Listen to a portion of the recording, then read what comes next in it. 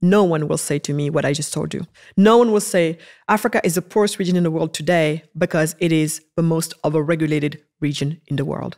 It is a place in the world where it's hardest for any entrepreneurs to do business. Period. I don't hear anyone saying it. And you tell me how, if you don't have a right diagnosis, how you get to a right solution. Hello, my lovely win winners. Today I am speaking to Magatte Wade. Magatte is a serial entrepreneur on a mission to help her home continent of Africa. She's a well known speaker and author, but she's probably best known for her various Senegalese businesses, including Adina Drinks, Tiossan, and Skin is Skin skincare line. And it's from this spirit of entrepreneurship that her core philosophy arises that what Africa really needs is to harness the power of the free market to achieve the economic status that it truly deserves. And I really love this conversation because it challenged a lot of the preconceived notions I had on the topic. So, on that note, here's Magatte Wade.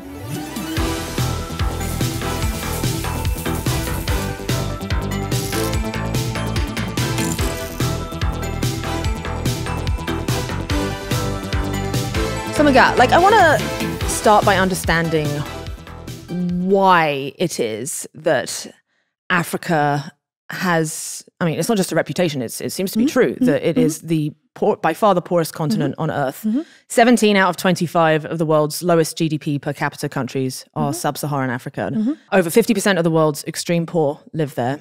And by extreme poor, that's defined as less than $1.9 a day. A day, yeah. Conventional wisdom seems to say it's purely a result of uh, uh, colonization, um, lack of education, but your thesis seems to be something quite different. So, mm-hmm. could you explain mm-hmm. what what are the various factors that are contributing to this? So, the way I would answer that, Liv, and by the way, completely true. I think most people do not like to hear, like even today, many Africans, you say Africa is the poorest region in the world, and then there's like all screams and cries. Why, why, why are you saying that? We're the richest. Because it's true, there is a little paradox there. You know, mm. this is the, um, the poorest region in the world, yet uh, in so many other measures, the one of the richest, you know, um, continent uh, regions in the world. And there, what I'm talking about is our um, population, first of all, right? mm-hmm. mm And then there, right there, I will say it's a it's a, it's a plus, but that plus, if not managed properly, will be our our demise, and not just the demise of um, Africans, but of the whole world. right? Well, some of us like to say that it's, um, it can be a ticking bomb. In what way? Uh, we're talking about Africa is the youngest population, um, has the youngest population in the world, average age of 19 years old. And also by 2050, uh, one out of every four people walking this earth will be African. So usually when I say that, I like to stop because I think most people, once their brain catches up with what I said, and they're like, wait, what? And you realize most people don't know this. And so when you say the future will be African, yes, it will be African. And uh, I think it was Noah Smith. He posted, he reposted something that he had a long time ago today, um, saying that basically any uh, futurism is Afrofuturism because it's just because of the sheer dividend, um, uh, um, human capital dividend. So the reason why I say uh, it can be a blessing or it could be a curse. Uh, and um, it's horrible for me to say of any human being that it could be a curse. But what I mean by that is if you have this continent being the youngest and going to be also uh, the place where most people, a quarter of the world's population will come from, that's a blessing till now until you say, and they remain the poorest in the world. You and I know that those two together is not going to bode well. Right. It's already not boding well. That's what I mean by it's uh, we have a ticking bomb in our hands if nothing is done. Good news is plenty can be done. And that's why I'm so bullish on Africa. Plenty can be done. Um, so the, the Africa paradox, poorest region in the world, yet uh, um, so rich in its human capital, so rich in terms of having young people, a lot of them, as well as under the ground, you also have a lot, right? Huge landmass. Landmass. Very diverse. Diverse. Natural resources. Natural resources. I mean, the place is just like wherever you look, it's just like, are you kidding me? No, I'm not kidding you. This is for real. So that's the paradox. And uh, so for me, the way, the best way to answer your question is I'm just going to walk you through what my own journey has been because I had that same question. So, just to walk you back, I was born in Senegal, west coast of Africa. And then, right after er, I was done breastfeeding around age two, My family did what so many African families, uh, my parents did what so many African parents did before them and continue to do to this day. They made the painful decision that we're going to have to leave our daughter behind. It must be so difficult. I think people who don't go through this have no idea.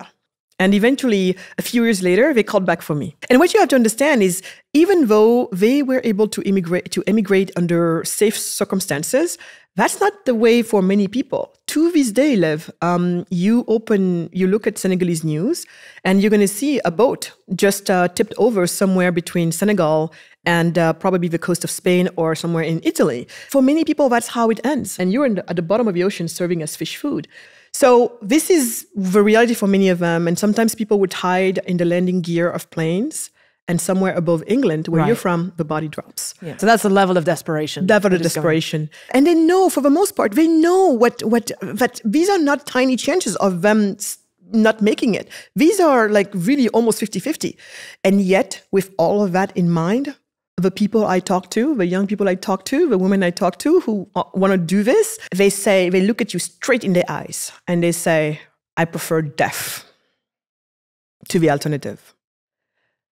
And they say, what type of life is that? That your mom needs help and you can't provide it for her, and in nothing else, you're an extra mouth to feed.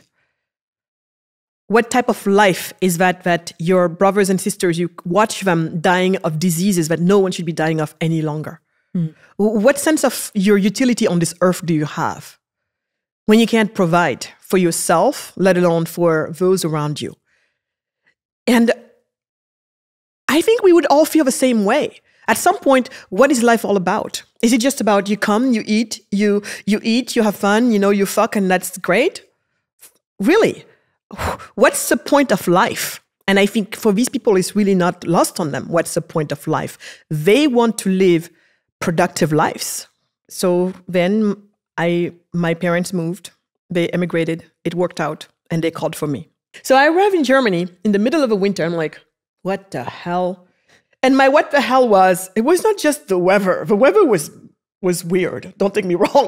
But most importantly, Liv, what I saw was the first question that popped into my little girl's head, the little girl that I was, was, how come they have this and we don't? And you know, all I was talking about back then was how come back home to take a shower, grandma has to get a charcoal stove going with mm. real coal, fan it, Takes forever. Yeah. takes forever. Once finally it boils, she takes it, dumps it into a bigger bucket, mixes it with cold water, and then somebody stronger in the family drags it to the shower area. And there at last, some 45 minutes to an hour later, between the moment I decided that we need to take my shower and the shower happening, 45 minutes to an hour has happened. Here, mom is saying, My God, time for your shower. And I'm like, I am not getting butt naked in this cold weather. Where is the bucket of water? And she's like, Come on, you silly. We don't have buckets here. And then I'm like, Wait, what? Jump in the shower, turn the knobs, the water is coming, temperature. I was was like, Whoa. No, literally, I was like, uh-uh, this can't be real. You know, it's almost like thinking like there's some Right. there's some uh, some voodoo stuff going on here. You know, and yeah, yeah, and then and then you know paved roads everywhere compared to back home. You know, sandy roads where your feet always become ashy. When you come home, you have to wash your feet. All that stuff. Life was just so cumbersome, and here life felt just so easy. And I was just like, wow, how come they have this and we don't? And eventually the question became, how come some countries like mine are poor, while others, like the US, like Sw- Switzerland, uh, New Zealand, Australia, all of these countries, how come they're rich? Japan. And I've heard it all. I've heard it all. I've heard people bringing up the IQ theory. I heard people saying that uh, because we're savages who always fight each other. I heard people saying that, um, you know, um, they're just because they're stealing all of our re- natural resources away from us. I heard people saying it's because of colonialism. I heard people saying it's because of racism. But you know why none of that made sense to me? It's because if any of that was true, how come? How come my parents? How come the minute they leave, all of a sudden they can manifest their greatest potential? Now I'm starting to think the only variable in here is the place that they happen to be in or not. And then now I'm thinking that has to be with this must be the place. After a couple of years, the family decided if we're going to stay in in uh, Europe, which we're going to stay in Europe now, it's better for us to be in France because of many reasons. In this case, Senegal used to be a colony of France. Um, the French French is the official language, mm-hmm. so there's all of these ties for good or for bad.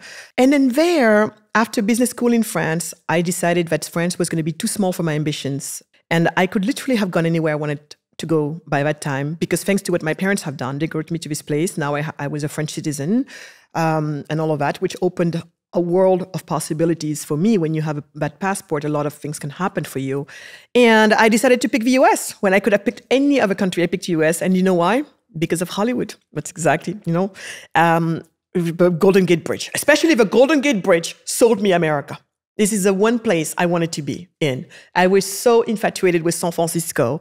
I was so infatuated with those hills, with Alcatraz, with all. It was so wonderful, and also, ah, just um, yeah. So I said, I want to go to America. And the movies have sold me the American dream, meaning in America, you can be anything you want. You know, it doesn't matter who you are. Like I felt in France. In France, I felt that, you know, me being this, the daughter of an immigrant, black, African immigrant on women, all of that. There were, I knew already all the stacks would be again, stacked up against me, all the odds. Many of the odds would be stacked up against me. So I took off and I left and I came to the US and I was just like, it was everything and better than what the movies had, had sold me. In what way? The freedom that I sensed from the movie was even more in reality. And there, I became a uh, headhunter in finance, working for, you know, uh, finding talent for people, companies like Google, for Netflix before they became um, name, household name brands. And there, at some point, lived something happened to me. Something happened one day. There I was doing extremely well for myself, having just bought uh, a home in Los Altos. Emmanuel and I were doing extremely well. I think you know the Bay Area. So Los mm-hmm. Altos is one of the, you know, Los Altos Hills is one of the most expensive zip codes in America. And the reason why I bring it up is because to tell you how much I had loved, lived my American dream. Yet something happened.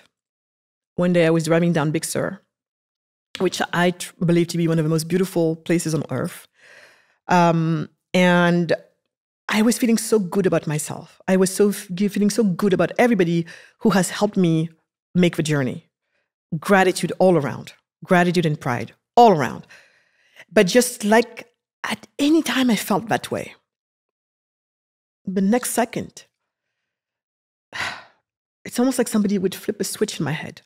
Literally, I live my whole life like that. Um, you go from gratitude, happiness, light, playing music, driving down Big Sur, and all of a sudden, it became dark. And what happened at that mo- what happened in that mo- those moments is that um, I would think about what I told you about earlier, about um, the people drowning at sea, the people falling off of airplanes, and the people being sold as slaves. And it would just it would just be the most horrible thing. Um, but that day, something more happened because that day, I think my body just jerked.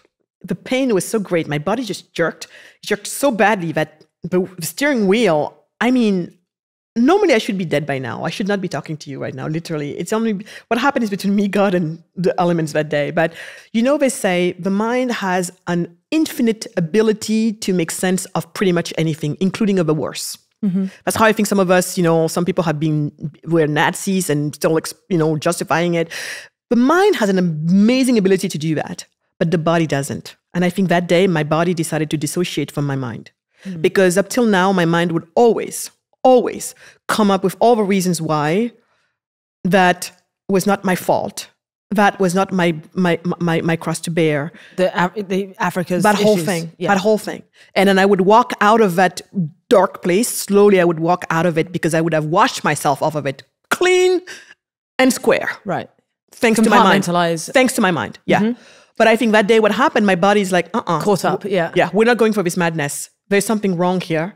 Time to address it. Exactly and that's pretty much I think what happened. It was really the call, and um, because I happen to be a person of uh, faith and spirituality, I, I, I, I'm my only way out was surrendering, and I surrendered. I surrendered to God, and I said, "Listen, I have no idea what I need to do, but from here on, I promise you, I am devoting the rest of whatever life you're gonna uh, wish, uh, uh, you know, grant me to the betterment of this country of mine, and by ricochet, my co- my continent. And that's it. I don't know what to do though, so you're gonna have to help me. But I made the vow, and that was it. I got back in my car, I drove back, and I knew my life would be completely different from here on. And different it was, it became.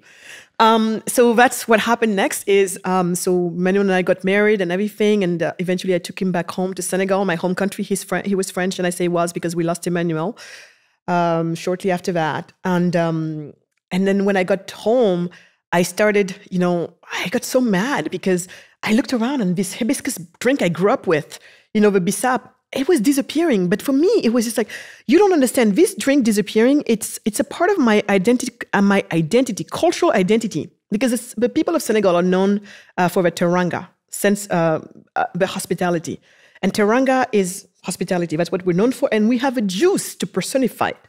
The bissap When you go into any home, that's what you get greeted with. This hibiscus juice. Yes. Yeah, okay. And then now we were going and nobody was using it. And instead you come with trays full of Tray, Fanta, Pepsi Cola. Oh, like all Western brands. Yes. Yes. Awful. because because for people like us, for like I would say, for culturally, uh, traditionally, culturally, um, um, you know, um, dominated cultures, for traditionally dominated cultures, we all share this trait of thinking that we're less than and that our traditions and what is indigenous to us is not go- as good as the, the West.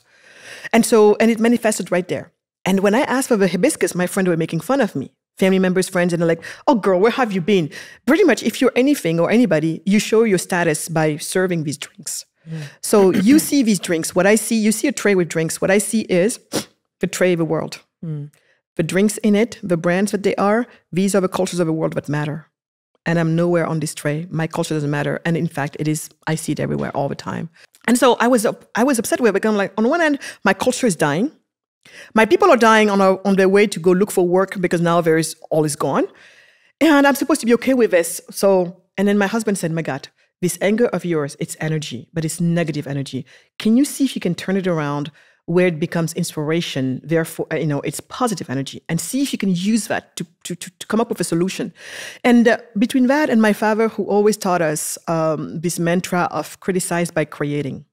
I love this phrase because it's, it's very win-winny. It's like oh you want to fix something? Build something new. The title that's why your title resonates with me. And um, very much right? So it's like criticize by creating. It's another um, it's a, I think it's a, line out of Star Wars. I can't remember which one. But it's uh, don't uh, don't kill what you hate, build what you love. That's right. right. That's right. It's a similar kind of that's so true mantra.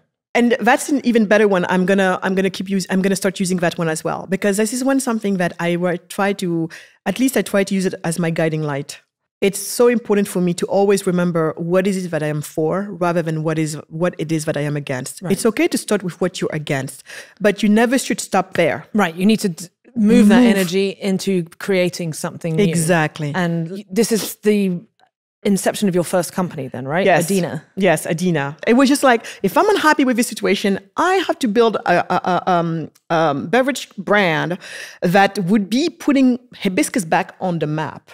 And um, we would do it in a way that we bring back these women to work. And at some point, when the UNDP did a, a case study on us, uh, we were at, I think, close to 4,000 women. It grew to 9,000 women that we brought back to work. But you know, Liv, while I was building that company, my answer started to to, to draw itself in the canvas of why uh, the answer the answer to the question of why yes. is Africa struggling okay because so we had to have two sister companies and then a mother company. The mother company was uh, more Cayman based, and then you had sister company in the US and then the sister company uh, in Senegal.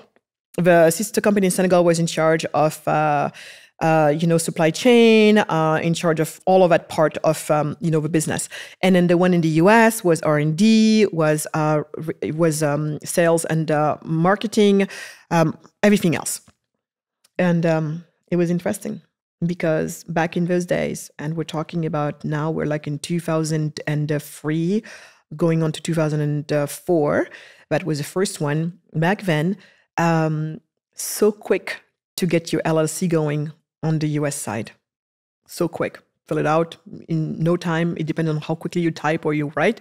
And uh, the application is done. And uh, couple hundred dollars, maybe back then. If I think it was not even that much, was a hundred or hundred fifty dollars. trivial. You're done. Yeah. Trivial. Something Yeah. trivial. Compare that to the one in the in, in, Senegal. Almost two years back then. Almost two years wait, to, wait. to legally Two- register. Mhm. Years. And we're not even some of the worst. We were not even some of the worst. So today, Oh, well, I actually have some stats here of yeah. but in researching this. It's crazy. it's insane. So to create a business in the Central African Republic, it takes 17 documents, 55 days, and about 5k. Uh, sorry, 5k container Yeah. per container to Per import container. goods. Yeah. In Angola, you must undertake 44 procedures retiring, uh, requiring 1,296 days, which is 3.5 years, Yeah. to enforce a contract, and the, that process will cost 44% of the claim. Eritrea to to start a legal business takes 84 days and 94% of average income per capita in paid in capital to start a business. Yeah. That's in like it's in how why would you ever start a business? It's Thank just you. not only could you, but why? Like it sounds horrific. You might as well go and do something illegal. So there you go. And so as I was um, doing all of that and I was observing all of this, for, my, the first reaction for me was like, of course, you know, again, America is a rich nation. Africa is a poor continent. Of course, things are going to be um, easy here because we're rich and hard there because we're poor. Just come to understand, Liv. No, no, no, girl. Come on. Because in between, I had to make a very simple math that I think most people don't make because it's so simple. And it was, you're poor because you don't have enough money, at least not enough money to take care of your basic needs. You don't have enough money because you don't have a source of income. And where, what is a source of income for most of us? A job. A job. Where do jobs come from? A marketplace. Yeah. Then don't you think, but then if you told me that the poverty that we just talked about is solved by the jobs that come from these companies, but just two seconds ago you told me, oh my God, it's so hard to do business here, it's so hard to build a business here. So actually, it comes from the regulatory environment. Yeah. So I, I, that was the aha moment because I was just like, if the poverty is solved by these jobs that come from companies, yet we you told me that here it is easy for companies to be built, but here it is hard for companies to be built, then of course the places where it's easy for companies to be built are going to be rich, and the places where it's hard for companies to be built are going to be poor. Hello, duh. So would you say this is the the regulatory environment is the primary cause of why Africa is lagging behind? What we're talking about here is the business environment. These are all the rules and regulations that are in place uh, in this country, in every country. The rules of the game. The rules of the game. Thank you. So, if here the rules of the game make it so near impossible for you to enter the game, then many, most people are not going to want to enter the game. You said it yourself. Why bother with this? When I looked there, I was like, I was shocked because it is not something that most people were talking about to this day. They're not talking about it because to this day, you line up a hundred people Liv, a hundred people. Line up a hundred Africans here, line up a hundred non-Africans here. Usually they fit into two groups, same usual groups. The Africans and their allies and the non-African allies. You ask them, why is Africa poor today? Why is Africa poor today? Why is Africa poor, the poorest region in the world in 2024? Because we just got into 2024.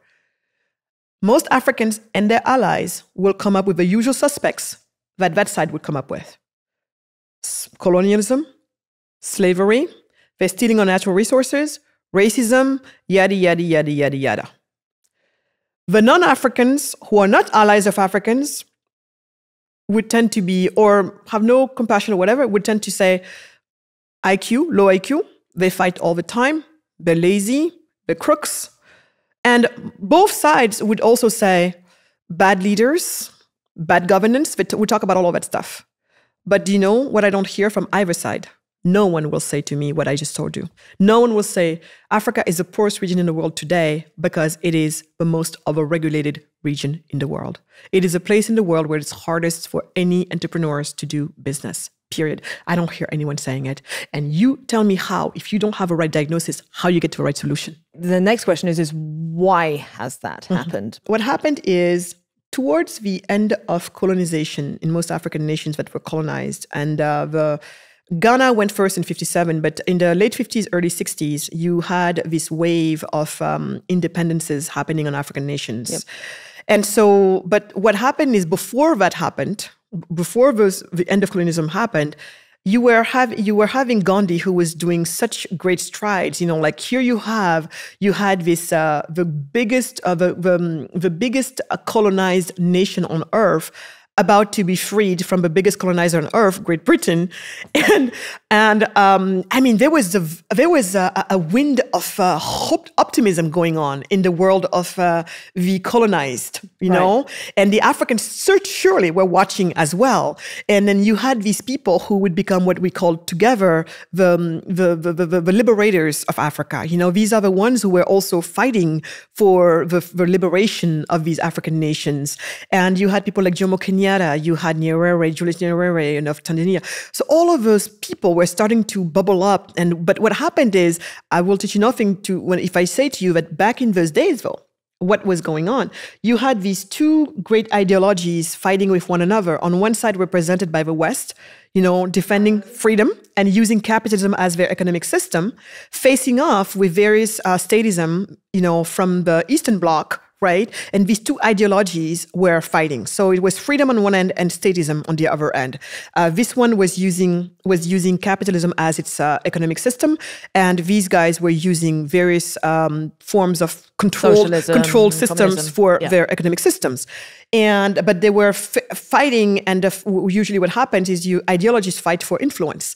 And they were looking for influence south you know look, looking down south um, to central america all the way to latin america africa all of that. And so us again and this is easy for me to understand because put yourself in the in the in, put yourself in the in the shoes of these african liberators socialism, communism, those ideologies were en vogue. Most people were. Right, academics. That. The academics were that.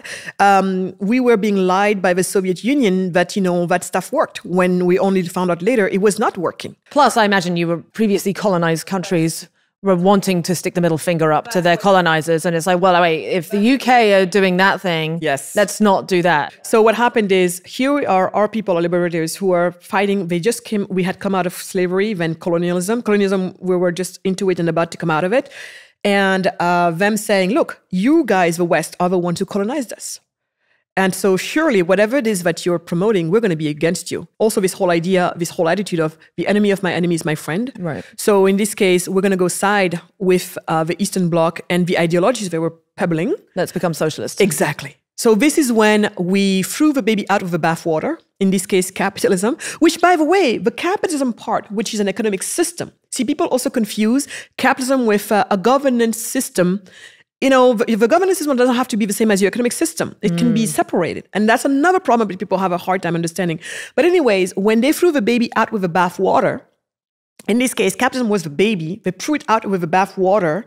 Um, what happened there is that was in flagrant uh, denial and misunderstanding of our African uh, roots prior to, colonial, to, to, slavery. Right. You actually say you say in your book uh, the the, there was this common misconception that Africa was always a socialist place yes. because of this this concept yes. of Ubuntu. Ubuntu, yes. Ubuntu, yes. But you then say actually that conflation was probably the worst thing that's ever happened to Africa. That's right. Uh, as bad as colonialism and slavery. Now yes. that's a big statement, and I and I stand by it. Can you explain what Ubuntu yes. is yes. and why it's not socialism, and yes. actually why pre-colonialization yes. you, it was actually a very market-driven place. Yes. So what ubuntu is is this um, african philosophy of i am because we are. So this very strong emphasis on the community right um, where because when you look at Africans, uh, we live very communal. It seems like a communal life. We we rely on each other a lot. Uh, the community it's a very strong sense of community.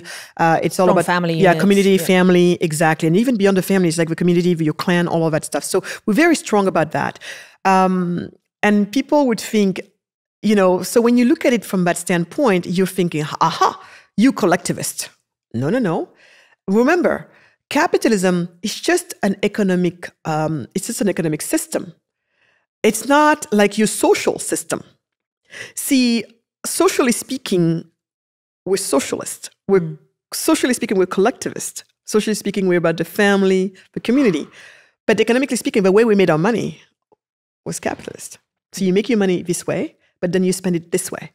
You can be collectivist socially speaking but it doesn't have to be the economic system that you use. And in fact, free markets, free market, um, free market uh, capitalism can be can go hand in hand with uh, socialist uh, so, sociability or so i don't know how you would say it like that but this is something that people are struggling with but where we need to make the differentiation is one is an economic system and another one is a form maybe of governance or even how you as a society want want to operate. But it has not it doesn't have to do much with your economics. Mm. because i like to say i don't care. You want to distribute your money all you want like um, you know the, the scandinavian nations fine. But first somebody has to make the money. And there's one way to make money. One way last time i checked. One way. So do whatever you want with the money you made but there's you got to make it first. Many africans they resent the idea of capitalism because for them it goes against that identity of theirs that's very Ubuntu like. And I say, I am Ubuntu like you are, but it has nothing to do with the way we make our money. And actually, George would show that um, when they when um, people made money in Africa pre-slavery, one third would the person who made it decides to put it back into the community, mm. the other third to reinvest, and the other third to keep. That's what makes the most sense, actually, to me. So it's what people then do. They make their money in a capitalist way, yes. but how they then distribute it. Yes. Yes. Is actually quite social. That's right. That's that, right. That seems like a very healthy balance. I would think. Yeah. I would think. So when you go back and you go back and you look at the work of people like uh, George, Professor George Ayittey, Ghanaian economist, uh, who really had the insight to look places where no one was looking at for his time, because in his time it was um, really um, it was not good to be not socialist. Everybody was going with a with a with a pattern, and he's like, no, there's something at odd here. And uh, and when I asked him, when I said, Professor, why why did you look there? When everybody was looking north, you're looking south. What, what, what what's it? Are you just a contrarian? He's like, no, because because everything I knew about our past, and he would like to argue that in his case, when he talked about the past of Africa, this is what he says. And I noticed most of us, the story of Africa starts with slavery. But no, no, no. We were there were people there before the white man ever set foot on the continent. Hundreds of thousands of years. yes, you know what I mean. We can there, that. There were people there, and who were we? What were we doing? How were we operating? What's going on? And uh, eventually, you learn that uh, you know Africa. We had some of the most sophisticated, you know, trade trade routes in the world. Um, you know, there is definitely open open um, you know trade, um, and then people when they arrive at a, at a at a center where trade is happening, all of a sudden you have these insurers kind of being born out of nowhere. So to ensure the, the trade that's happening. And then when the trade is over, then everybody moves on. So it was a very sophisticated, sophisticated market, time. Yeah, market driven yes, market economy. exactly. The chief, you find that in many societies, the chief was just uh, basically a person in which uh, the people have um, entrusted. It's almost like uh, you are the safe, right? But anytime we're not happy with you, we take back our stuff from you. It's not yours. So there was a form of democracy as well. Yes, yes. And better than democracy, I would like to argue, and this is going to be the topic of my next book, this whole concept of kritarchy, the law of the judges rather than the law of the legislators. Kritarchy? Yes, kritarchy.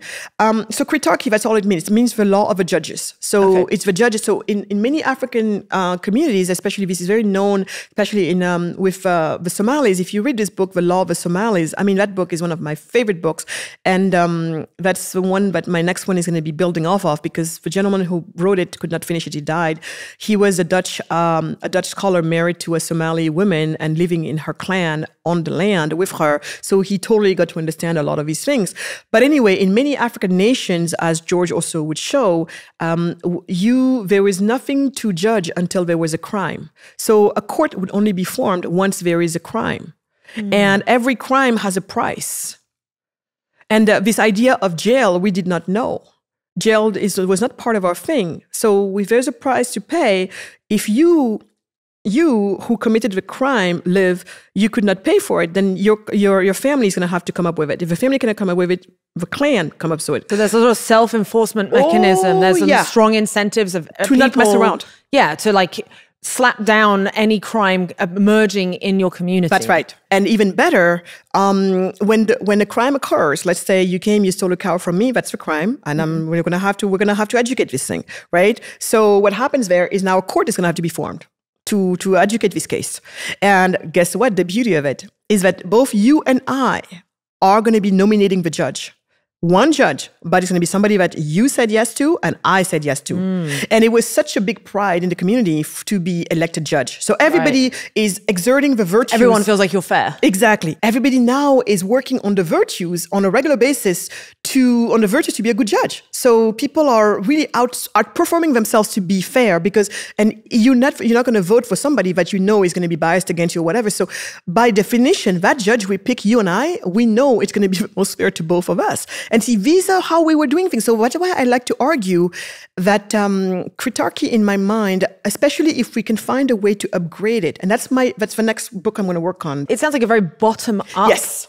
form of yes. justice and legal governance. Yes. I would like to revive kritarchy updated for 21st century, where uh, the, the, rights of the minorities, especially women and men, uh, women and children, is going to be more respected right? So and all and all types of other minorities. So that's the one thing i'm working that's the one piece that i have to get right. But then everything else in my mind is so and if you if we can get that piece added to what kritarchy traditionally was then we come up with something that in my mind is going to be superior to democracy as we know it. Mm. because we un- we can all see that democracy has shown its limits. This democracy winner takes all. I we all agree that this is better than anything else we have had so far. But i for me it's showing its limits so yeah, that's that's definitely goes against a lot of intuitions, I guess. You know, the the image that gets pushed to someone like me growing up in the West who knows very little about Africa, it's like kind of there's it's strong men and that there's these power maximizers who control everything but it sounds and that was what it was always like but it sounds like that wasn't the case it wasn't it all. wasn't. It wasn't because then what happened power is actually quite decentralized exactly. fluid. You got the right word. It was completely decentralized and it was fluid so which means it could adapt to its time and Which to sounds like a very healthy system. Thank you very much. So that's why my goal is to bring this back. But right. I got to figure out the minorities things. And then one more thing about that is also, um, so it's when they came, the colonizers came, and they said, "Oh, look at these savages." The, for them, the right way, the right way to go, the right way of governance was to be centralized. Right. And when down. and when they did that, we went from tribes to tribalism because tribes are not mm. stupid. If you centralize the power and also we've had the money because we had all the money coming with it, then people are going to fight to control to control this. And if you don't control it, your tribe might be at risk. Right. And so you see all of a sudden how we went from these very decentralized tribes for the most part maintaining the stable. peace, maintaining yeah, the peace for the most part. I'm not saying they were not fighting. Fighting is everywhere. I mean, humans across the ages fight, but um, for the most part, they knew how to maintain the peace because it's super decentralized. But it's when they brought this idea of centralization because they said it was a superior way that destabilized. They the, destabilized the everything, and to this day, in Somaliland and in Somalia, a lot of these issues you're seeing still goes back to that. And you find that the minute that they get their fingers out of it, things get better. And then when things get better, the international community comes back and saying, okay, now we're going to come and help them. When they come back, they bring that back with them. You know, a lot of people are fans of socialism. Mm-hmm. And but they often obviously see it through a Western lens. Mm-hmm. Explain to me, because you, you go into this quite extensively in your book, mm-hmm. why socialism specifically was so damaging for mm-hmm. these African nations because mm-hmm. it, it, wasn't just. It, it, sounds like it's the combination of socialism plus this disruptive force of like, suddenly mm-hmm. centralized mm-hmm. control mechanisms. Mm-hmm. This is why when you say so many people, maybe your audience are going to be fans of socialism. And this is where I would love to have them in front of me because they're going to have to tell me what do they a mean by socialism, because I have a hard time believing that anybody, if if they identified socialism to be the force that has killed so many millions of people around the world, for them to still say, and we think it's a good system, it just has not been done right. I would like for them to tell me. I'm, I'm genuinely, genuinely curious. But I will tell you what, for me, what I talk about when I talk about socialism here. I talk about this, um, you know, this this whole centralized, controlled ways of the um, economics, right? And also this idea that um, everything needs to come from the top.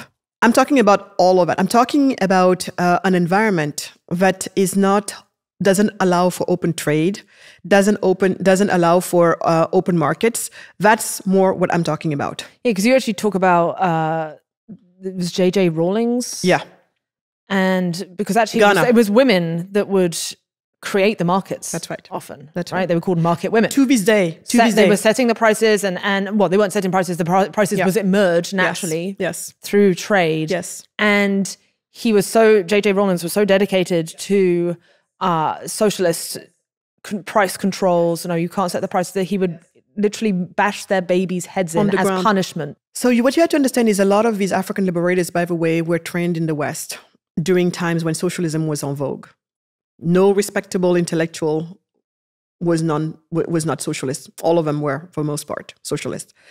So when you're living in times where the accepted uh, philosophy is X, it takes extraordinary people to go against the grain right? So in this case, most of them were brought up in times when socialism was en vogue, and for the most part, they were also raised, uh, they were also trained abroad. That's another point that um, um, uh, Professor Ayittey made to me because I said, "Why? What happened to these people?" He said, "They just didn't know their history. They just didn't know who they were. They didn't know the culture. They didn't know their culture, if you think of it. And that made sense. And so, because if they knew, they would have known that in pre slavery Africa, no chief would ever have dared to tell Liv or Magatte, you get to sell bread, but this is how much, this is, this is the little amount of uh, profit you can make. If you make beyond that, we're gonna, you're gonna be in trouble. The chief does not decide what you and I get to sell to each other. Do we sell to each other or not? What do we do? How much do we sell and how much profit? Never. No one would dare to do that. This was an import. This ideology was an import. And so for the socialism that makes it that, um, you know, that looks for um, equal outcomes, because to me, that's really in the end, that's their, that's their big ends that justifies all the means, you know, because we all have to end up in the same place. So therefore, whatever it takes, because that's a moral way to be.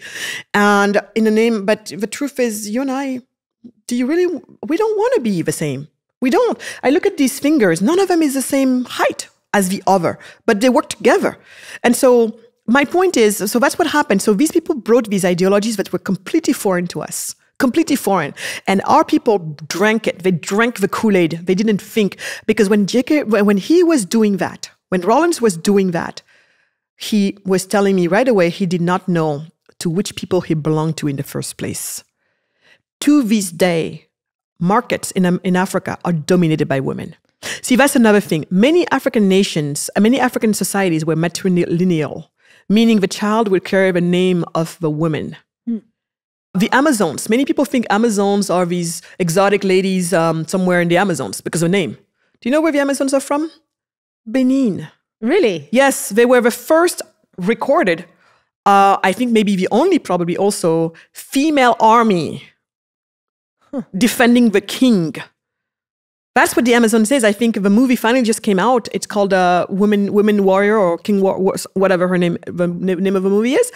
That's what it is. So a lot of these things we had it like that. So it's actually so it's actually uh, much more gender balanced, or ma- even matriarchal Yes. societies were existing. Yes, yes, and Again, then that and does then, not go with the narrative. Again, it's like It we, doesn't. Fed it's it's patriarchy, patriarchy everywhere. we've everywhere. been we've been fed so many crazy things and then the other thing is also same thing they came the the, the west especially some of our you know very puritan for the most part and they said to to the right a social order between men and women is the men in front and the women in the back.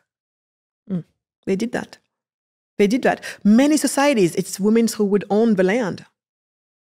This is things that people don't know but but like but that's why for me us africans have to really remember who we are and where we came from. And there's a lot of things about us that were right. So right here i will i will assert this is my birthright to be a capitalist to be an and i would say it better maybe a free market capitalist Right. Well, because I'd love to get into the different types of capitalism that Mm-hmm. you would advocate for. You know, there are many different Mm-hmm. um, v- flavors of it. You've got like laissez-faire, state-guided. Um, what form of capitalism would you like to see, for example, in Senegal? Or like, what would your action plan for Senegal be? What I believe is no person left behind. And what I mean by that is as simple as everybody needs equal access to opportunity. What they do with that access, it's up to them. Right, because that, that phrase, no person left behind, has been co opted in some ways. I know, that's why I use it. Into I know. not equal opportunity, but equal outcomes. And now we're getting back into the sort of downsides of socialism and Yeah, communism, right? yeah. The idea of leaving no one behind is a good thing. But the way you leave no one behind is providing everybody with equal access to opportunity. Again, what they make with it or don't, it's going to be up to them. But do we should we all work super hard for as many of us to have access to the same opportunity? I think we should. Yeah. Should we help as many of us to make sense of that opportunity? I think we should. But I cannot walk the last mile for you. And that's where everything is, that last mile. I can give you everything you need. I can provide you with all the support, everything. But if you don't want it or don't want to show up for it, there's nothing else I can do. And this is where we need to agree. This is where my job stops and yours starts. And this is also where your responsibility is at. Mm. If we can have peace with that, I think we'll be better people. But this idea that um, equal outcome, so I don't agree with that. So because of that, because I care about equal access to opportunity, for me, we go back to the the the, um, the environment. So, and this is something that takes me back to you know this conversation I was having you know with um, Vitalik about you know EA, the world of EA, uh, effective altruism. For people who don't know what EA stands for, um, I've I've always had um, good inclinations toward the EA community because I always thought that bringing rationality into figuring out philanthropy was a good thing because I'm the first one to be upset with stupid philanthropy, and philanthropy can be but very stupid. plenty stupid, exactly. So I was like, thank God we have people who are going to use, you know, their mind as well to, to work together with the heart and you know get us to, to a better place. But I think you know when that happened, where for me, you know, I'm definitely solidly in that camp of EA, but where EA kind of lost me was with the fact that I felt, um, but I'm like, okay, can we push the thinking further down?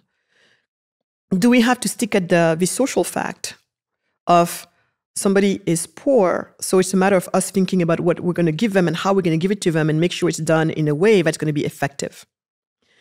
How about we push the envelope further along and say, but do people really have to be given things?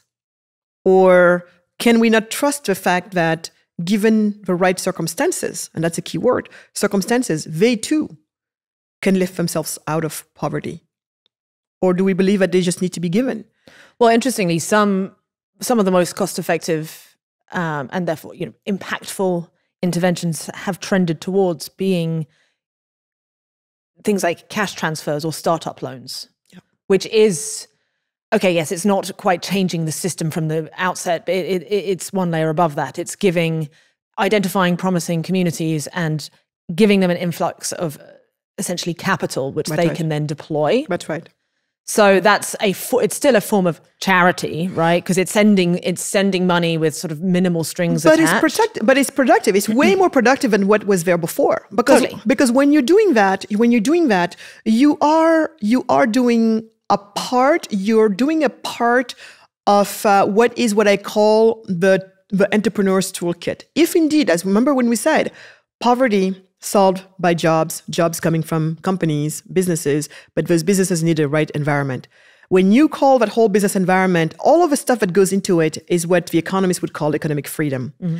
And in economic freedom, you would also have, you know, access to capital, access to investment. But that's not all. You you need that, but that actually going to happen better and go further if you have everything else to be right as well. We're talking about rule of law. We're talking about clear and transferable property rights. We're talking about, um, you know, people understanding what the law is and also trusting that cases will be adjudicated in a fair, quick and cheap way. All of that stuff has to happen. So so when you're saying we're going to provide you with capital, that's more than what was there before, for sure, and it's definitely part of the entrepreneur's toolkit because we need to to to to to, liberate those entrepreneurs so they can create all the mm. wealth we talk about. We're talking about.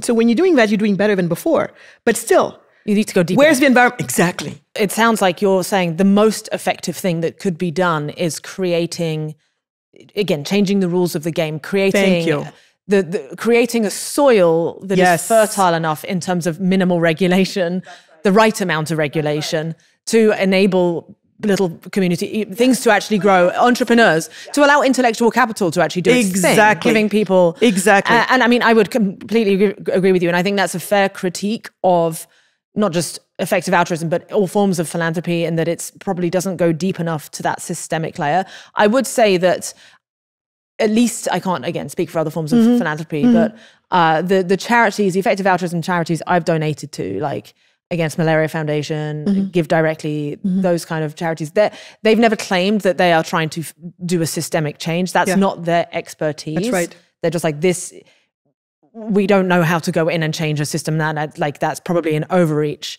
yeah. someone should do that yeah um, th- those problems th- this is the best way in the current s- system to try and that's right. help help lives that's right now like doesn't stop anyone else coming in and trying to which is i guess what you're trying to do right you're yeah. trying to do the the systemic change right actually before we move on into into the systemic change uh-huh. and i think the different types of capitalism i'd uh-huh. love to get your thoughts on foreign aid because that's now that's a very different thing it's technically a form of philanthropy yeah but if we've talked about effective philanthropy that's from what i can gather from the way you're rolling your eyes that's the most ineffective and possibly even net negative um, so, can you explain why? Sure, sure.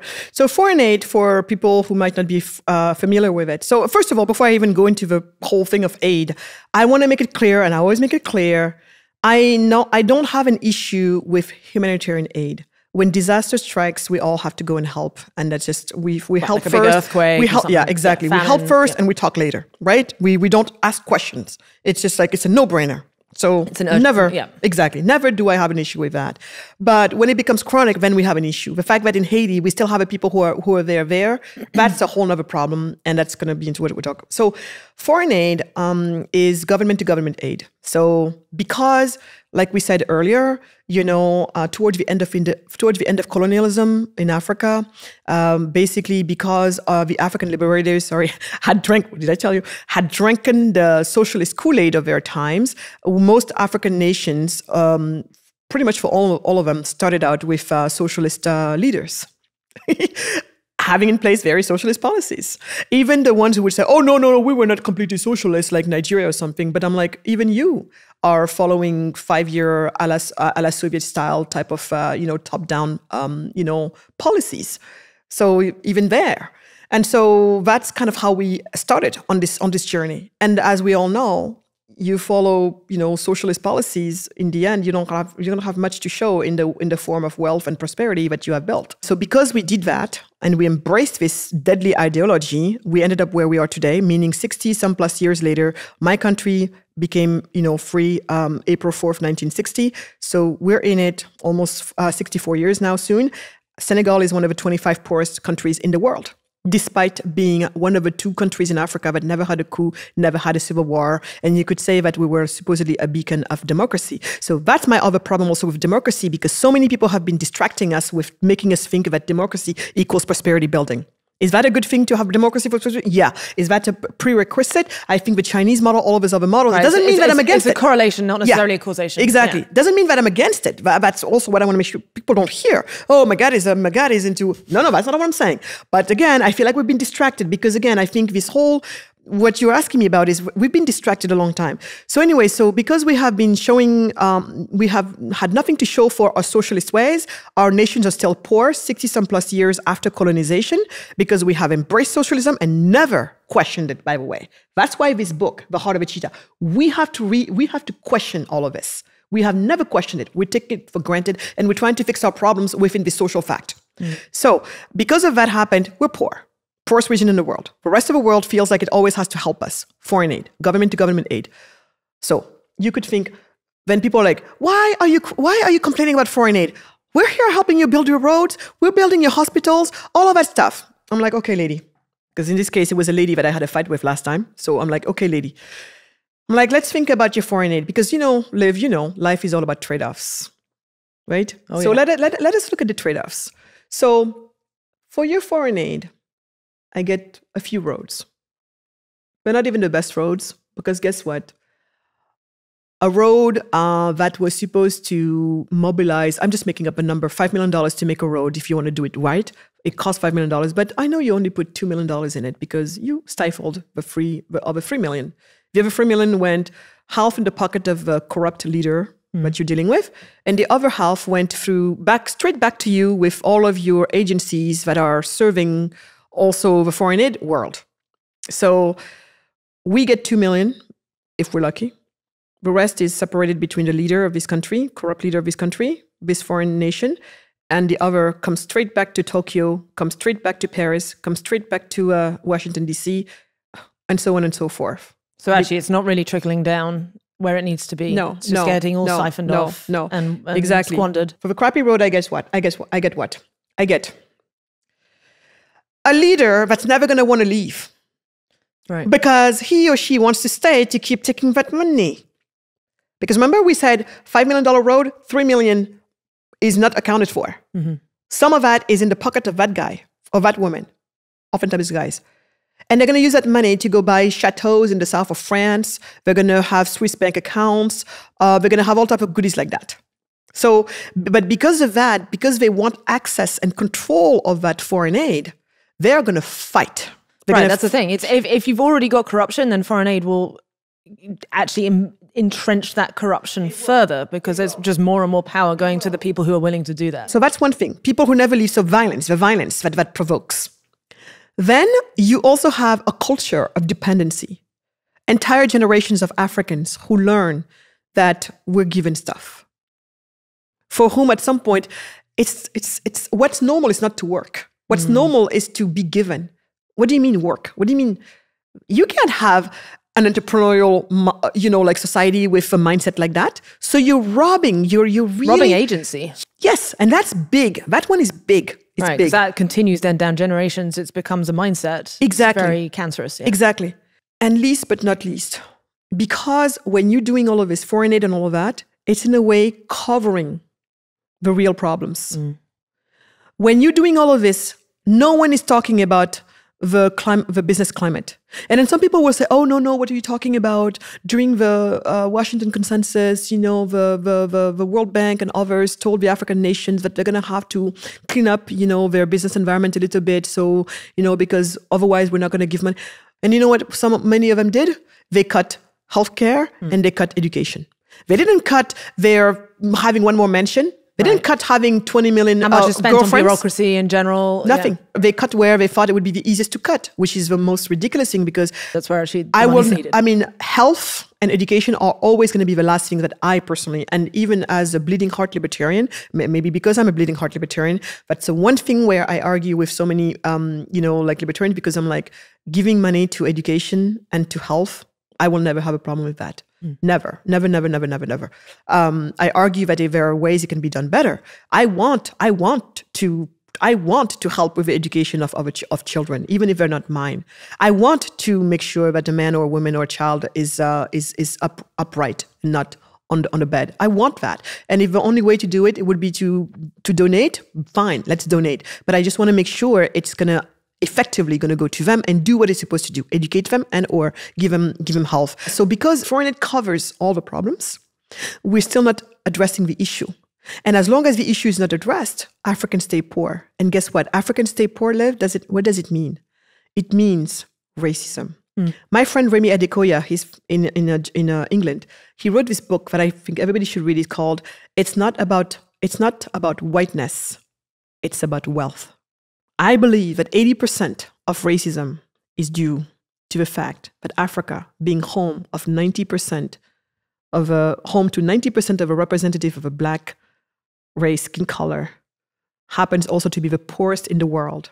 And that blackness has come to be linked to, to less than. Exactly. Right. The day we correct that, the day we become prosperous, I, I, I like to argue 80% of it is going to disappear. Hmm. 80%. This is not to take lightly. And so, so, so for me, that's that's a worse one. In addition to just people living in poverty, which is the most indignified thing in the world. And the fourth one is neocolonialism. He who makes the gold makes the rules. There's this feeling of indebtedness that Mm-hmm. it keeps perpetuating that cycle. Yeah, and because you give me the money, so that's how the French, that's how the Americans, all of these people get to actually decide even who we elect. Make no mistake, many Africans and their allies think um, I'm African, but I'm not the type of African who thinks that way. So many Africans think that Africa is poor because uh, of neocolonization. They'll say, okay, coloniz- colonization is done, but it's, we're still ne- we're still colonized. We're neo-colonized, meaning like everybody's meddling with our affairs and everything, and or buying our resources for on the cheap. Like basically, we're we're still neo-colonized. Mm-hmm. And I say, make no mistake, we are neo-colonized because we are poor, because we are poor. We're not poor because we're neo-colonized. Very different. They don't mm-hmm. think about it. And as long as we remain poor, the rest of the world will help themselves. Before we get into some of these solutions, what's an example of foreign aid that you do support? Basically, the, the only the only forms of aid that I support is a form is the aid that helps people be productive. Which actually brings back to almost like the type of GiveDirectly. Yes, I always support. Like, you know, some people are asking when something happened, even in um, when there is a disaster that strikes, I say try to support people on the ground. And this is my other thing with central, centralized versus decentralized. Local is always going to know better, and that's why I hate socialism as well. Local is always going to know better than the central planners. Right. It's just the nature of a It's beast. just a richer information landscape. That's in it. that- yeah, And- you're going to have and fe- and higher feedback loop. quality information. Yeah, and feedback loop, and the yeah. feedback loop is shorter and it's more important. So that's why socialism, who thinks it's everything comes top down, compared to you know a free market capitalism where it comes from the bottom and bubbles up. The market instructs us of Mm. what is needed, when it's needed, how much is needed, where it needs to go, and how it goes. So some people would argue that capitalism has because if I look around here in in America, I mean, even somewhere like here in Austin, Mm-hmm. which is actually more, it has a sort of stronger religious vein Mm-hmm. to it, and there are a lot of churches around, and yet the even here seems like it's losing that community feeling, and some would argue, and I wonder it myself, like, is that a result of sort of a, a this very capitalist structure um, that has broke, broken down the strength of community? And I would worry that would that same thing then happen No. to Africa? I no, I would argue the opposite. I would argue that the reason why we have gotten to where we are is not because of capitalism. It's actually because the state has been taking on more and more. right. Because, and uh, robbing communities of their, Exactly. their cohesion, Exactly. whether it's, um, through self, you know, self-enforcement. Yeah, because at first, when it was all of these mutual aid societies were more or less, you know, private, because the church, it's all private, right? You're doing is people coming together, getting something together, a church, a mosque, or whatever, or just I don't know, like a women's a women's house for women. Um, what happened is the more the state takes that responsibility, the more it takes takes control of that. What happened is all of a sudden, live. If you're living in a in a community where you know are you which church are you part of? Which mosque are you part of? Which synagogue are you part of? Which um, which uh, you know like temple are you part of? Whatever it is or which group are you part of? You choose whichever works for you. And in a way it's gonna it's gonna um, it's gonna inspire you to be a good community person. Because in a way you're down on your luck you're gonna depend on these people right? If you're gonna be a jerk to everybody I'm sure people are probably going to try to help you for sure because you know we all we need to help sometimes no matter what. But you know you you also sense that uh, in in return you also are going to be a little bit more community oriented. Also do your part. Do your part whenever you can, so that way whenever you need you can take out of a pot. But you also have to feed the pot, right? So you you contribute. So and that forces you in a way to be to be part of a community and have that sense of community right? But now imagine now the state takes it.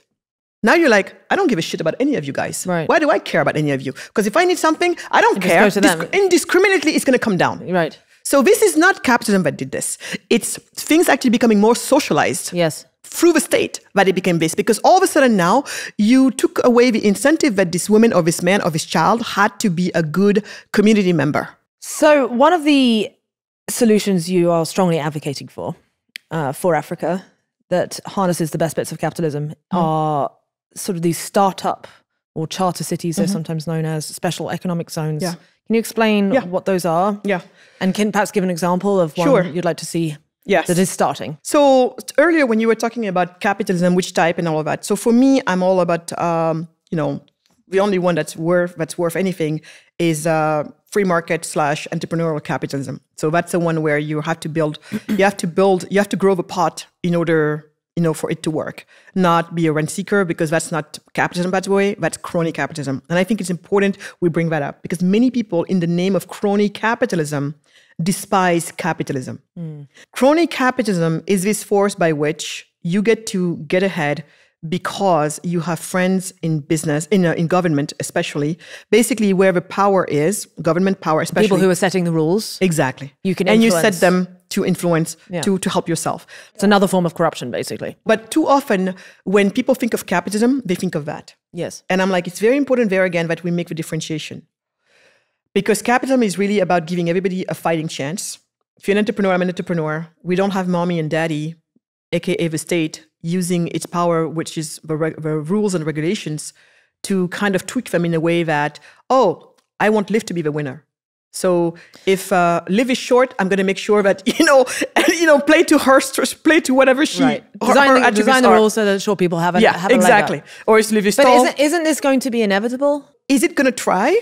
Yes. Do we have to let it be? No. But the US has really gone a very, very bad direction on this. Don't take me wrong. The US is still one of the best countries to do business in the world to this day, despite its problem. But the US is going to have to catch itself, Right. Because it's it's it's really back back back backtracking. So going back to so entrepreneurial capitalism, and also I want to say I'm a firm um, supporter of conscious capitalism. And the reason why I bring it up is because Can I define that? yeah. So conscious capitalism is basically this whole concept around prof, um, purpose maximization versus profit maximization. Right. For us, the relationship between uh, purpose and profit is just a relationship between, if I say Liv, what's your goal, your dream in the world? And I know you're going to tell me it's something that's going to be, you know, about, but something about changing the world, right? You want to change the world. Finding the win-wins. There you go. But in the no circumstances will you say, my goal is to build as many, to produce as many red blood cells as possible. but you need to build, you need to, to produce them if you want to stay alive so you can do all of those big things. That's the only thing. That's the only really. So John Mackey says it the best. Um, profit is to the you, the human being with these big goals, what blood, the red blood cells. That's it. You gotta have them. You gotta produce them. They gotta be abundant. It's a metric, but not the metric. Exactly. It's not it's not the end goal. If you don't have profits, you cannot sustain the whole machine.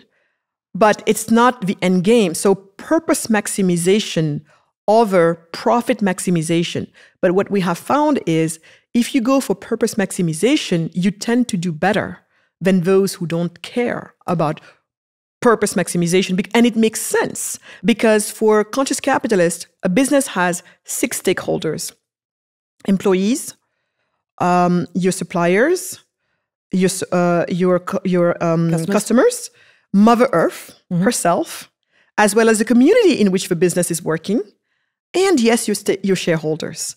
And anytime you make a decision, it's got to be a win, win, win, win, Right. win between all all six. the the pushback is that the company that sacrifices a few of those will get the leg up. Like if they're the ones who, let's say, don't also make sure that Mother Earth wins because they can externalize the costs, you know, some form of pollution, and that thus because they're kicking out those costs, they're not they're not factoring them into their equation. They can put that money straight back into growing faster.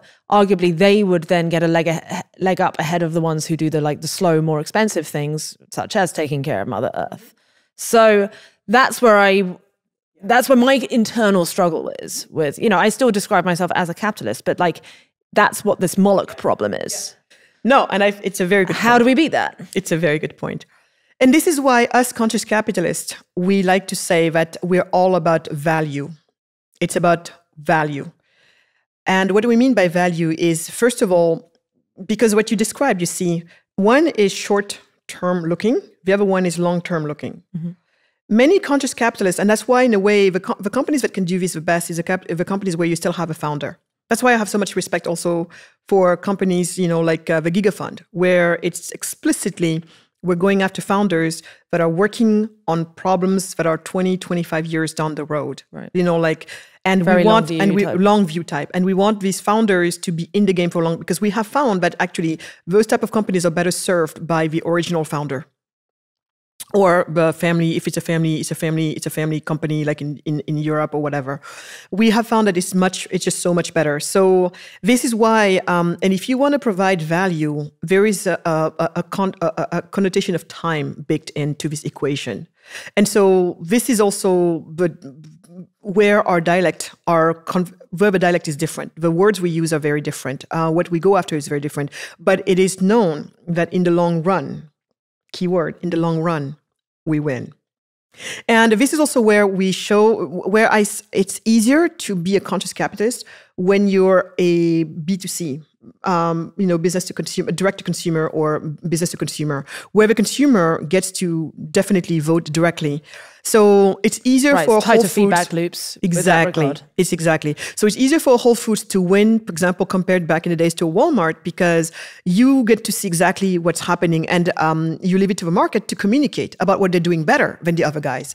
It's it's it's thanks actually to it's thanks actually to companies like Whole Foods Market who are way smaller than Walmart. Then actually Walmart became the biggest seller of organic cotton in the world. It's because once we started putting the emphasis on it and the consumer base started to realize, you know, these issues, then they started to vote with their dollars. So it's easier for them to vote with their dollars when they have a direct, like you said, a direct feedback loop and they know what's going on. And so traditionally for um, B2C, uh, you know, companies and brands, it's been much easier than, let's say, if you're buying, if you're um, patronizing a bank. Right. Because you don't necessarily know what they're going with a bank, or even uh, your pension your pension fund plan. You don't know where right. and who There's they're investing in. Clear information it's, flows. Exactly, exactly. So because of that, all the things you're talking about is true. But I would argue that again, this is to me, this is an opportunity. I don't see that it's a, it's a challenge, but a challenge that calls for an opportunity. We need for B2B to be better communicators. Okay, so it sounds like your philosophy is very much certainly when it comes to Africa, but in general, slash get get rid of a lot of regulations. Yes. Most regulations are dead weight. Mm-hmm. They're actually counterproductive. Mm-hmm. And coming back to this idea of startup cities, it sounds like these. So, from my understanding of them, I'll, I'll explain, yeah. and feel free to connect. Uh, correct. A startup city would be an area that is built on a greenfield site, mm-hmm. so it's not building within an it's not, it's not taking a, an existing urban area and repurposing it. You're, you're starting a brand new city from scratch, um, including its design, uh, its physical infrastructure, but also its governance in- infrastructure. Presumably, it needs some starting rules and regulations. So, what are examples of rules that a, a healthy startup city should have? The best way to think of them is that these are next generation special economic zones with their own law, their own governance, especially when it comes to commercial law and also that they have custom, uh, that they also have a custom regulatory framework. The reason why um, we go for zones rather than for the whole country at once, because we're we're having some of these conversations with some some nations that are like, if if you're saying that our law are inferior, why are we stay, why are we keeping them? Let's just leapfrog to what you're going to do with us. And problem there is, it's one thing to put the law to say the law is changing. You know, like first of all, when you say which laws have to change and all of that, what people have to understand, because that's what happened. When I talk about it, it's like, my God, so where do we start? Where do we start? But doing business index ranking, where do we start? These 10 indicators, and every indicator has sub indicators. Where do we start? I say the problem is it's complicated.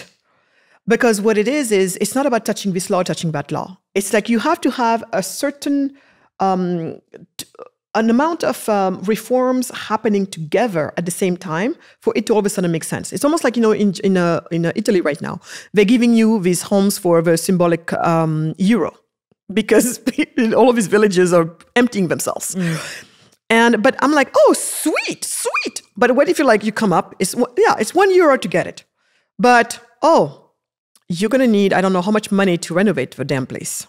That's fine. You might say, yeah, I have to renovate oh, but once you're done renovating it, uh, the taxes on this home is going to be, I, am just making it up, 50%. Or, and, the, and by the way, the way you're going to have to renovate it, it's going to have to be back to standards of back in the days, meaning you cannot just use whatever you want, you cannot just build it where you want, you have all of these things to happen. And so all of a sudden, that one burden. euro, but you're, you're like, no, keep your, keep your thing. Yeah. You know? So that's the same thing. If you come and you say, for example, the, the, the, the, the labor laws, for example, in the labor laws, and you say, okay, my God, we get it. We get it that it's so wrong that uh, right now, in order for you to hire Liv, you basically have to sign a, pay, uh, a, a contract in three in three sets, and then you you most importantly you have to bring it physically because our government people don't open their emails. So you have to travel to them, and we're in the countryside. It's two hours, an, an hour and a half to two hours to get there to take this thing.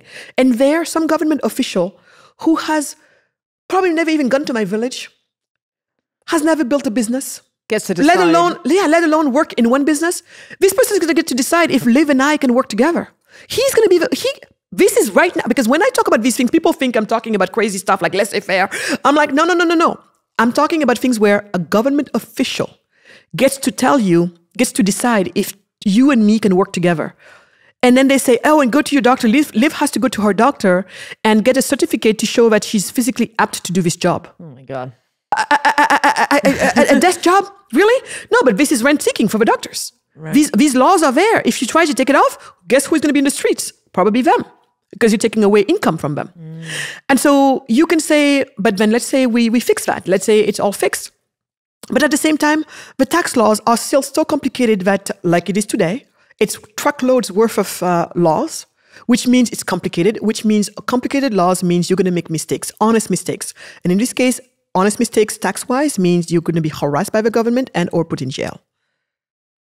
So that, okay, now all of a sudden you said, fine, you and Liv can enter freely into a contract. I don't have to oversee it. Same thing when you fire each other. I don't have to, because that's the same thing. I cannot fire you without the approval of the right. government. And so why would you ever exactly. hire anybody exactly. if he's taking on all this, this exactly. burden? Yeah. But let's say all of that is fixed. But still your tax, your tax code is so complicated, you're going to make mistakes, meaning you're going to be harassed by government or whatever. Meanwhile, the permits, the time it takes to take permits for construction or whatever, it takes forever. All of these things take forever. Do you think that... Um, even though it's now a good thing that I don't have to consult with the government to hire or fire you, uh, that's that's definitely lighter. But do you think it's still worth it for me to get into business? No. So you see how you have to have a minimum threshold of uh, reforms to happen together at the same time for it to finally be like. Sounds like. like you click. need to really just start again. Thank you. You just said it. Start again. But you can't start again at a whole country level no. because, for good or for bad, there are people there they're doing what they're doing. So there's the inertia. There's there's people's inbuilt status quo bias. Even the people who are suffering. Exactly. Yeah. Exactly. They can't imagine a better world. Exactly. Yeah. And especially in many cases, you find that you're going to have to go from civil law to common law. Like almost all Francophone African nations are going to have to, are going to have to migrate from civil law to common law because the French forced their colonies to retain civil law even after colonization. It was part of a deal. Can you define very quickly the difference between common law yeah. and civil law? So common law is um, the best way to think about it is everything is allowed until until there is a problem until there is a problem and it, it, it it's get brought it. up. Where civil law is every nothing is allowed unless unless it is specifically allowed. So one comes from an absence of rules and another one comes from an abundance exactly. Rules, yeah. Where here the absence of rules, eventually some rules are going to start to build, but they're going to be better rules because they come, yeah, and yeah. they come out of re, real re, reality. They come out of reality. They're not some like idealized theoretical thing from mm-hmm. people sitting in an ivory tower figuring it out. Exactly, yeah. figuring it out and, and totally missing the mark. So that's why, in so many ways, you can understand why um, you know um, common law is so much better for business than civil law is. Civil law basically you have the right to do nothing unless it was specifically told you you were told but you can so how can you take um, how can you innovate within that mm-hmm. right? Where the other one innovate all you can and then we'll when there is a problem we'll we'll educate. So the problem is um, so a lot my country my country is going to have at some point to migrate from civil law to common law senegal uh, with uh, many others like that.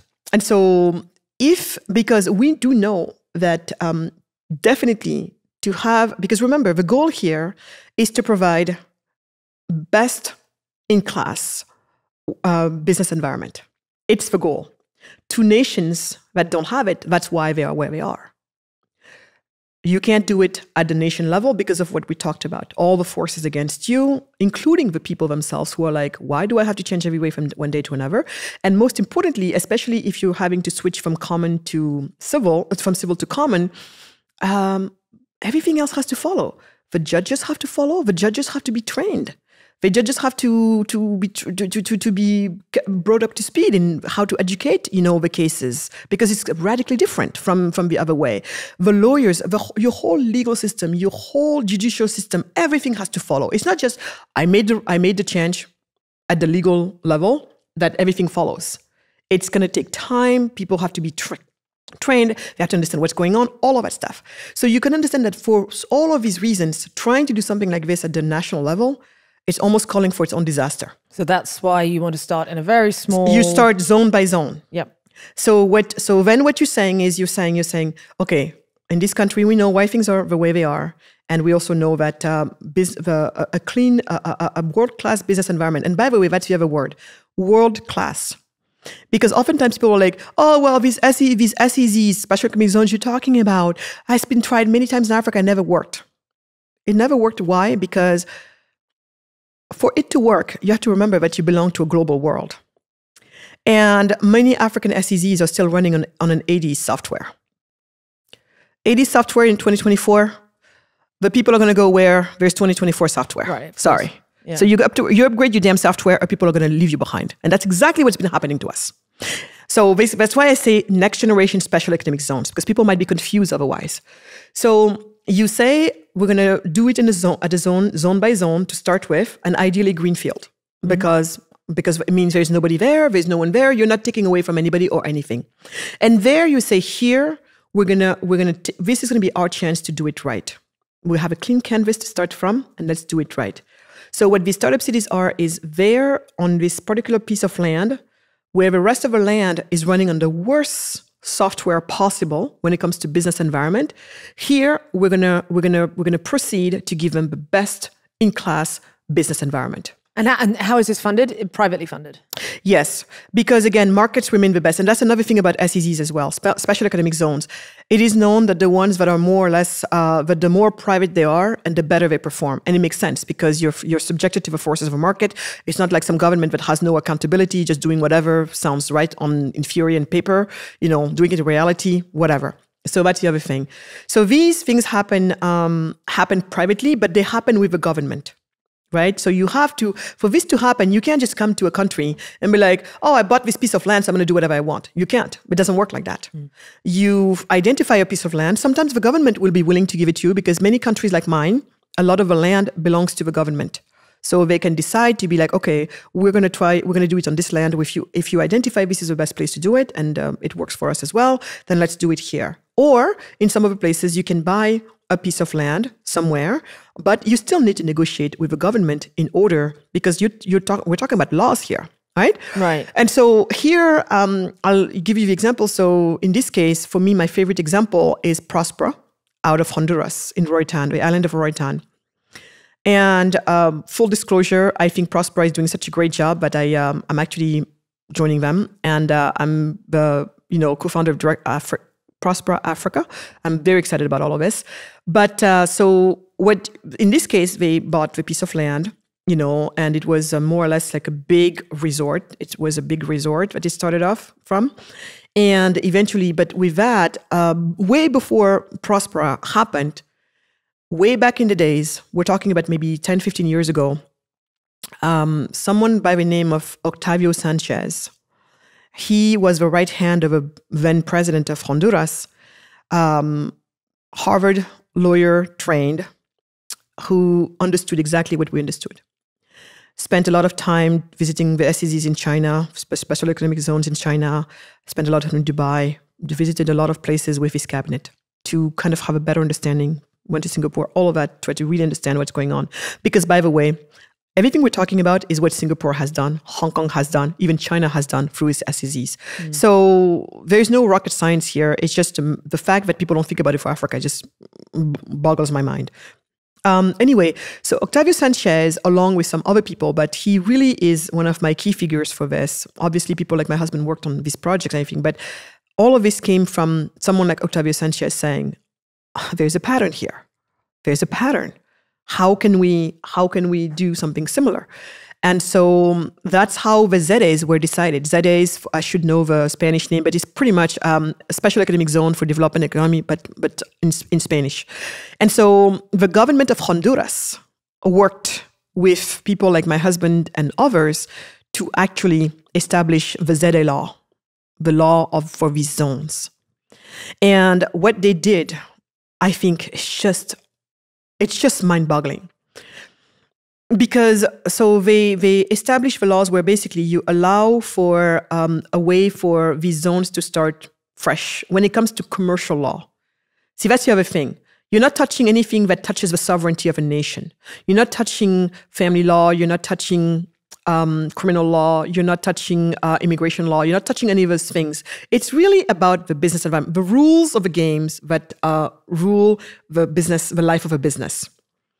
And so that's kind of so they established the premises for that to be done, and then that's what they call the ZEDE law. And then from there, different anybody who wants basically was said anybody who wants who find find the right type of land in Honduras can apply for ZEDE.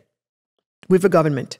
You apply, you get it, you can go do what you need to do. There, what it allows you to do is to come up with a set of laws that you would think is the best in, in for business and for the business environment. But it still has to adhere, presumably, to a certain subset of government laws, like because it's not like a complete Wild West. Very good question. No, it's not Wild West. And this is another thing that many people don't understand. That's why when I hear some people be like, oh, this is wet dream for uh, libertarians, I'm like, you just don't get it, do you? What it is, is um, for this to work, um, again, remember, we're after the best business environment in the world.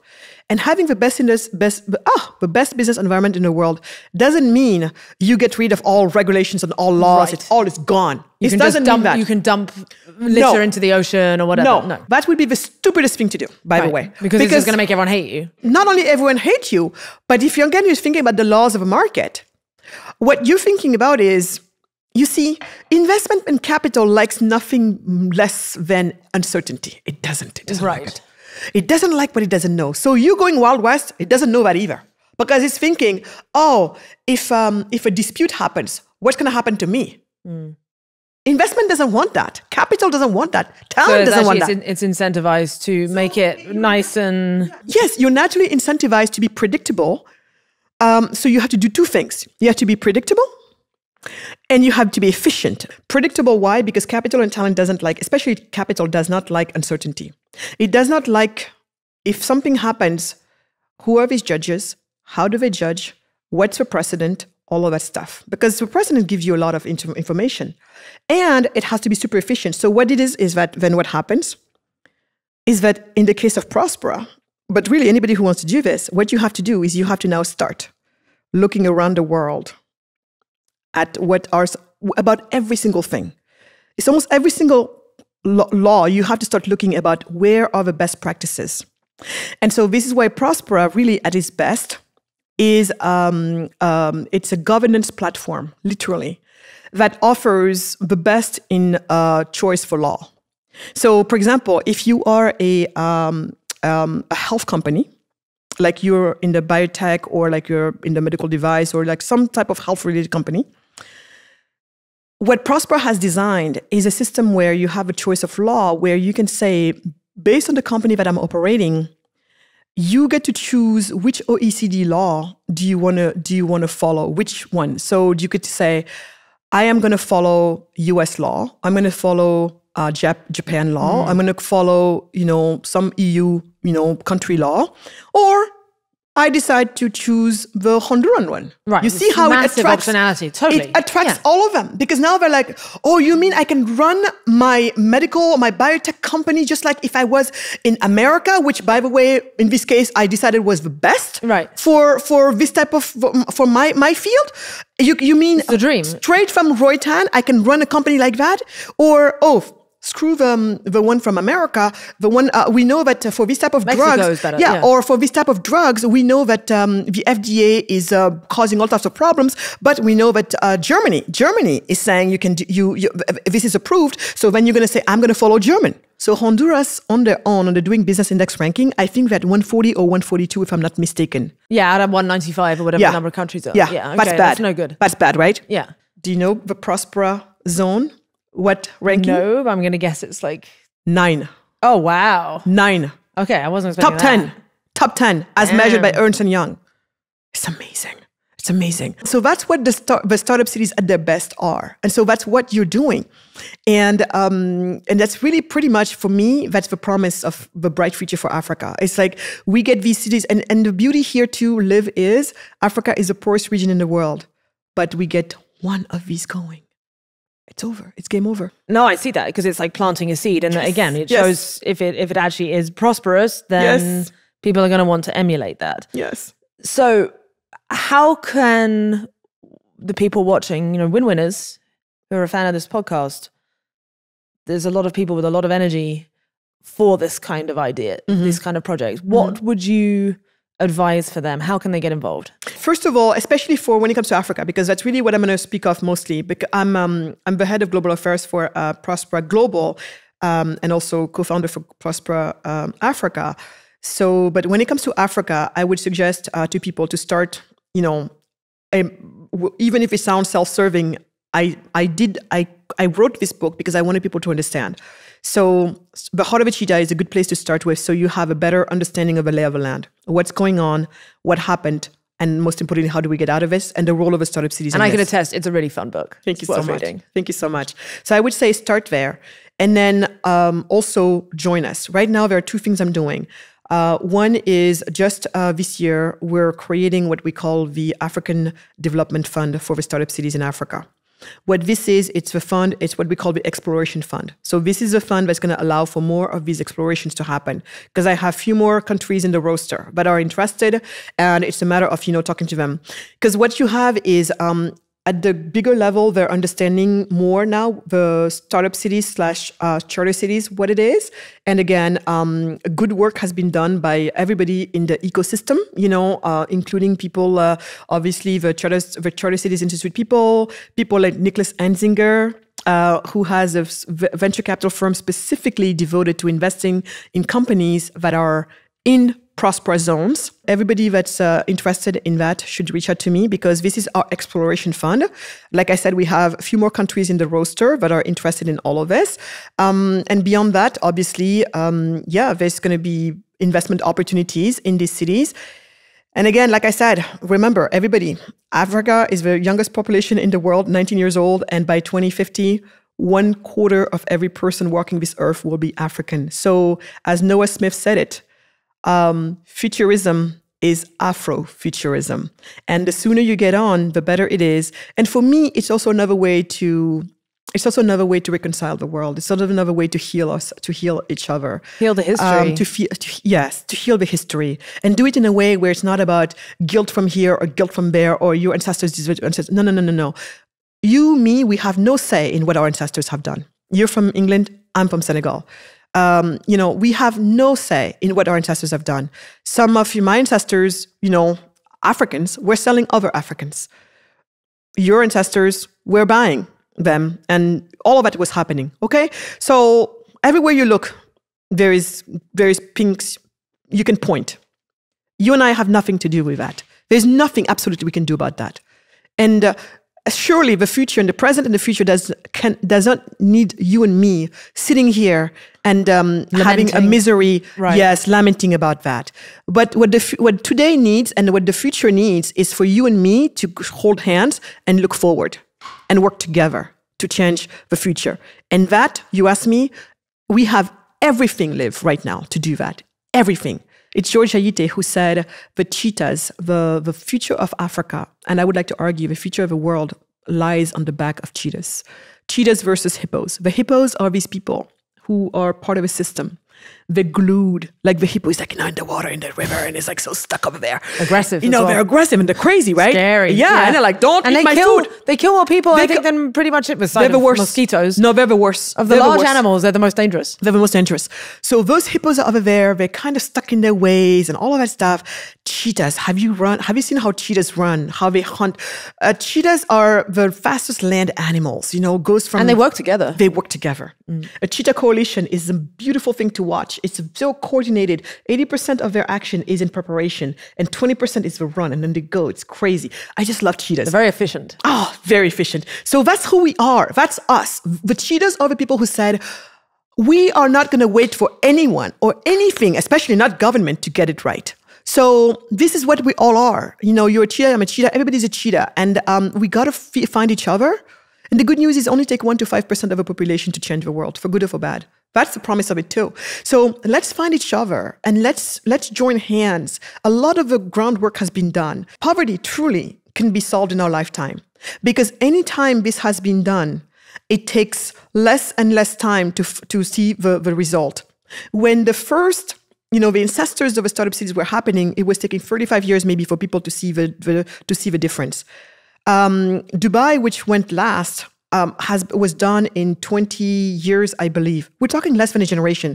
By the time, time, we do the African cities ones, maybe 12 to 15 years, we can see the difference. So when I hear people saying, "How do we solve uh, poverty?" This is how you solve poverty This, but but we're going to have to be radical about this. And if um, philanthropy world is not getting it because they're designed in a way that they can't uh, address systems, then it's going to be up to the rest of us to design something that can address systems. And this is something that for the longest time, folks thought we, we could not do anything about. But now we're proving them you can do something about it. So, but our world is not designed to, to, to support systems. And as you can hear in what everything I explained, there is nothing like you know, um, uh, colonial about anything I, I, I, described, because the fact that companies uh, have access to better jurisdictions, multinationals, it's known. Multinationals can choose, pick and choose which ones they're going to be ruled by. Now, let's bring it down all the way to the littlest person in the community. And so um, this is pretty much what's there. And I think I know no better, more beautiful way than to finally all of us come together, finally kick poverty down to the down to the to the curb because we've got bigger job to do than trying just to sustain people. You know, we have cancer to solve. We have, um, you know, more rockets to send in, in, into the earth. We have um, more of a diseases to solve. Every one of these Africans is one brain that's going to waste. Yeah. As it is right now, it is the most stupid thing that we're doing to ourselves collectively to leave anyone behind, leaving such unproductive lives due to poverty. There was a really interesting statistic about actually the most unemployed people in certainly in some of the Western African nations are the most educated. The most, yeah, the more educated you are, and the more likely you are to not have a job. That's nuts. Think about the waste of this. Yeah. Think about this. It's so, all this intellectual capital, these brilliant young minds, and they're just sitting there doing nothing, and they're so frustrated, which yes. then creates conflict. And, yes, yeah. yes. So this is why, for me, that's where this whole promise is. I mean, we have such a beautiful world ahead of us right? I personally, there's no other time I would I would prefer to be alive. Okay, um, as a black woman uh, evolving in the world, this is the best time to be alive, and I can almost say for sure that I believe it's the same for you. Because even if back then maybe you would have been queen or who knows what else, still you would have had to maybe die in childbirth for reasons Sucky. that don't have to be, or who knows what else. Today is not the case. So, in all metrics, by all metrics, we are living our best lives, our best lives. Let no one tell you otherwise. And we can make it even better by bringing out everybody else with, you know, out of poverty into prosperity. And from there, we all kind of tackle bigger issues. So for me, for me, this is what we should be focused on. Let's all the division go by the sideways. Um, you know, even this stuff, you know, I see people saying, oh, there is a war of, a, there's a civilizational war going on. I know it's very popular to think these things right now, but it's for me, it's the most ridiculous thing I've ever heard. Do we have people like the Muslim Brotherhoods who are involved in a civilization war? Yeah. Do we have on the other on the other end of that, on the other extremes end of that, uh, people you know in the Western world involved in civilization war because they think Judeo-Christian background is the best or whatever, for right or for wrong, whatever? Probably. But I like to argue that those are two special, two small factions fighting these weird things but in between, you just have people like you and me bumbling along, trying to make it as we're going along. That's it. And all we want is for our families to be safe, for our children to be taken care of, and for us to be not being thrown by the, by the sideline when we fall sick or we fall ill or we fall handicapped or whatever. We just want to live. We just want to be. And so, for people who are allowing themselves to be distracted by bogus you know, stuff. They sit there and they say there's a civilizational, or when you're being a politician, you think there's a civilizational war. When I'm like, no, all I see is people who are clearly telling you they don't have enough. Whether it's the immigrants that are coming, you know, or the or, people. or the people who are here and are telling you, like the, like the yellow vest, we cannot make ends meet. Mm-hmm. And you're talking to me about, about climate change. That's what started the yellow vest. And so these two people have the same problem, which is called poverty and they have the same solutions as well. But instead of addressing that, we address the consequences. And of course, we go for the easiest um, culprit, which is in this case, skin color is the fast, the quickest things to see. And then beyond that, religion as well. Right. So we go for the easy markers to start to differentiate ourselves and say, this is a reason, like the things that differentiate us. When we need to go back and remember the poverty here and the lack, lack lack. So the key, the key is to uh, unlock abundance, get rid of scarcity, and yeah. it's we'll find our way back to each other. We will find our way back to each other. So there we go, folks. Thank you so much for listening, and of course to Magatte for this conversation. Do check out her book that's out now, Heart of a Cheetah. Super, super cool. I've also linked below some of the resources that we discussed, including some of her research papers that I'd also really recommend you read. And of course, please like, share, subscribe. You know the drill. Either way, I will see you in a couple of weeks.